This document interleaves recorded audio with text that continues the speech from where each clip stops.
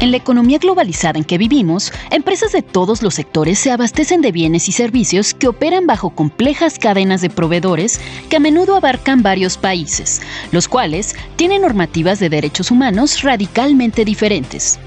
De acuerdo con datos de la Organización Internacional del Trabajo, más de 450 millones de personas en el mundo trabajan en empleos relacionados con las cadenas de suministro. Y a pesar de que estas cadenas brindan oportunidades importantes para el desarrollo social y económico, a menudo presentan graves riesgos para los derechos humanos, como abusos a los derechos laborales y daños al medio ambiente, por mencionar algunos. Difícilmente las empresas pueden tener la capacidad, el conocimiento, el interés, la, estructura para mapear toda su cadena toda la trazabilidad de sus operaciones, desde sus proveedores directos, pero su distribución, su empaque, logística. Y hoy en día, ¿no? una pequeñita empresa puede tener un impacto global porque hacen parte de la cadena de suministro de otras organizaciones. La debida diligencia incluye medidas para evaluar riesgos reales y potenciales para los derechos humanos, mitigar esos riesgos y poner fin a los abusos, así como para garantizar un remedio en los casos en que se produzcan violaciones pese a esos esfuerzos. Los principios rectores de la ONU y otras normas internacionales para compañías no son jurídicamente vinculantes, es decir, las empresas pueden ignorarlas o limitarse a aplicarlas de manera laxa y poco efectiva.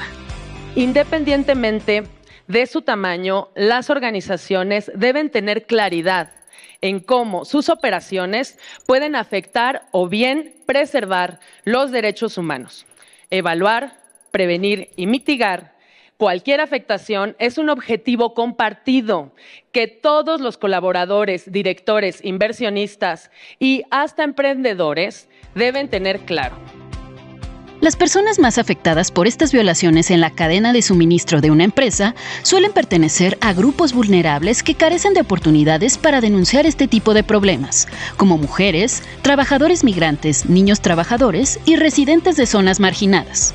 En este contexto, en el Senado de la República se llevó a cabo el foro Integridad Empresarial y Debida Diligencia en las Cadenas de Suministro. Ante representantes de empresas, sociedad civil, academia, gobierno y organismos internacionales, se trazó un plan de acción a través de la Iniciativa por la Solidaridad Global proyecto que busca que las operaciones de las empresas respeten los derechos humanos y ambientales y no contribuyan a transgredirlos. La idea es que este sea una mesa de ayuda accesible que va a estar en el Consejo Coordinador Empresarial acá en México. Entonces, a través de los gremios, que se vaya llevando incluso al interior del país, que se conozca, que sepan que existe esta mesa de ayuda para que las empresas puedan acceder, capacitarse, tener acceso a herramientas y así poder realmente impactar a las personas trabajadoras.